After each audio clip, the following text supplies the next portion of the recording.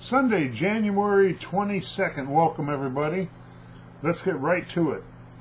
Cincinnati Bengals are at Buffalo. Buffalo's five and a half, total 48 and a half. Cincinnati is eight and one on the unders the last nine playoff games. Buffalo is four and zero on the overs their last four games overall.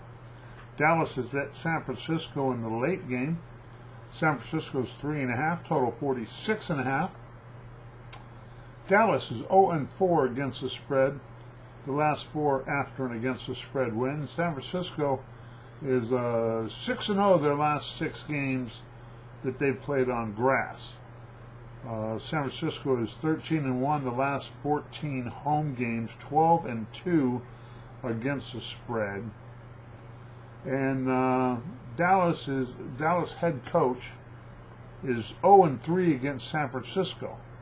He lost to uh, he lost to San Francisco when he was a Dallas coach, uh, when he was a uh, uh, who the hell did he play for?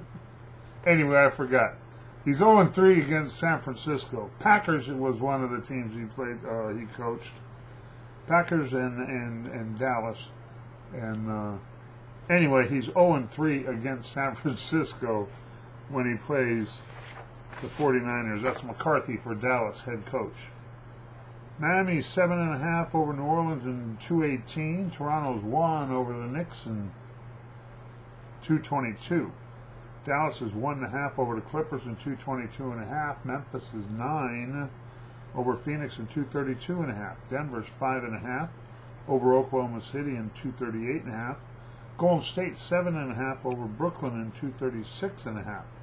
Portland is six over the Lakers. The total there is 239.